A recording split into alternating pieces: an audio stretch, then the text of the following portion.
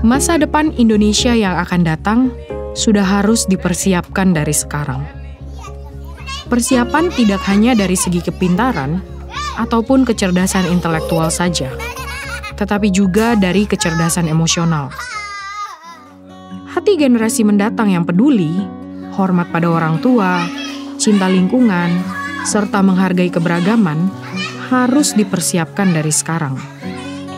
Karena inilah pendidikan karakter bagi tiap-tiap anak sangat diperlukan sejak usia dini.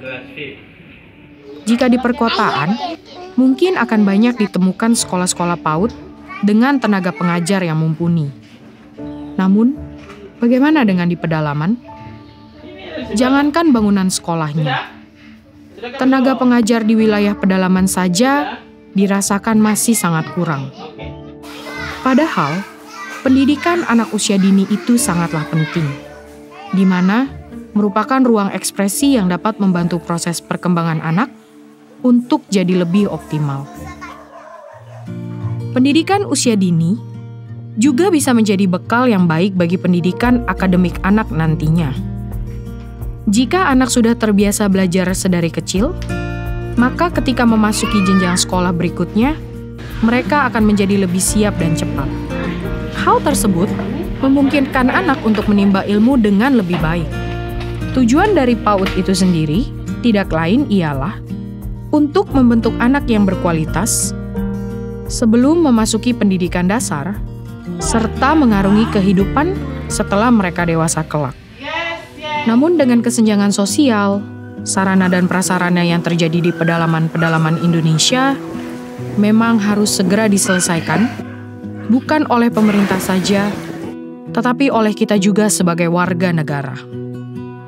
Dengan masalah yang berlarut ini, Tangan Pengharapan melakukan tindakan nyata melalui program Feeding and Learning Centers, mengirimkan guru-guru terbaik untuk menetap di pedalaman.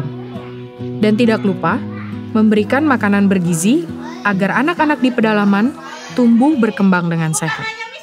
Semua kegiatan ini bisa tetap berlangsung karena ada para partner dan donatur yang konsisten membantu dan mendukung perkembangan pendidikan anak yang ada di FLC PAUD Pelangi Sukacita, Sorong, Papua ini. Mari berjuang bersama untuk memutus rantai kebodohan di pelosok, karena pendidikan untuk semua dan semua untuk pendidikan. Terima kasih kepada para donatur yang telah setia mendukung program Feeding and Learning Center di PAUD Pelangi Sukacita, Sorong, Papua. Bersama kita merangkul mereka menuju masa depan yang lebih baik. Helping people live a better life.